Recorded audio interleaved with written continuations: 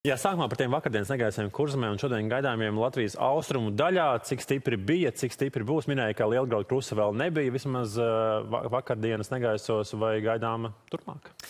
Vakardienas negaisi visspēcīgākie bija kurzemes pašā piekrastē, Liepājas pusē. Es ceru, ka mēs te varēsim redzēt arī vienu fotogrāfiju no Dienvidu kurzemes novada, kad vakar vakarā uh, gluži kā tāds, uh, nezinu, citplanētiešu kuģis, kas lēnām piestāja no, no Baltijas jūras puses, izskatījās draudīgi svarīgi.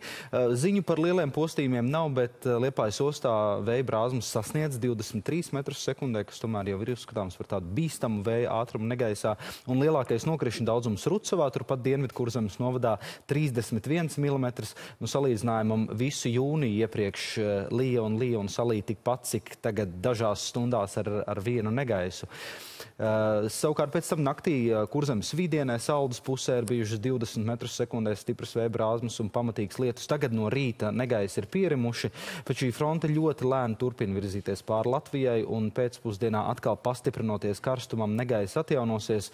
Um, līdz dienas vidum vēl Zemgalē un Rīgā negaisa risks, bet iespēja, ka Latvijas vidienē negaiss būs ļoti spēcīgs, ir maza. Visticamāk, īslaicīgi uzlīs kāds, kāds gāzieniņš savukārt eh, pēcpusdienā un vakarā, kad Latvijas austrumos, vidzemes austrumu daļā Latgalē temperatūra būs sasniegusi 30-32 grādus. Nu, nu, tur tas risks ir krietni augstāks, un eh, tādēļ eh, arī lielgraudu krusas iespējamība ir lielāka. Tas nu, šķiet pēdējā laikā ir tas, tas bīstamākais, kas parasti mm. satrauc cilvēkus, gan, gan lai, lai īpašums netiktu bojāts, gan gan arī dārziem, protams, liela postījumi.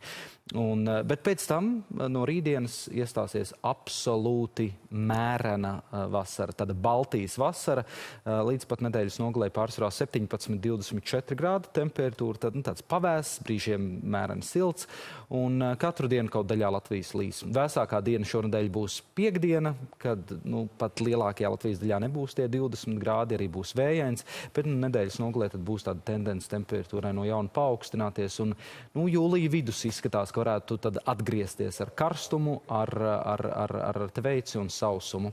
Vēl pavisam īsi par aizvadīto mēnesi jūniju, kas ir vispār šķiet bijis ļoti labs vasaras mēnesis. Te mēs tulīt redzēsim e, temperatūras gaitu jūnijā, kāda tā ir bijusi. Tā pelēkā līnija ir klimatiskā norma, mm -hmm. sarkanā, kā mums ir gājis. Un tur pirms jāņem bija tāds šķita, ka mazliet siltāk prasītos. Bet e, mēnešu nogalē karstuma vilns un dārziem ūdens ir bijis lielākoties nu, pietiekami vai mazliet pielaistot klāt pietika, nebija ļoti jānomokās ar laistīšanu, temperatūra laba, un uh, krustas mākoņi bija mazāk nekā mājā, tā ka postījumi noteikti ir bijis, bijis mazāk. Tā ka jūnijas, manuprāt, ļoti labs vasaras mēnesis, jācer, ka -hmm. jūlijas līdzīgi arī turpināsies.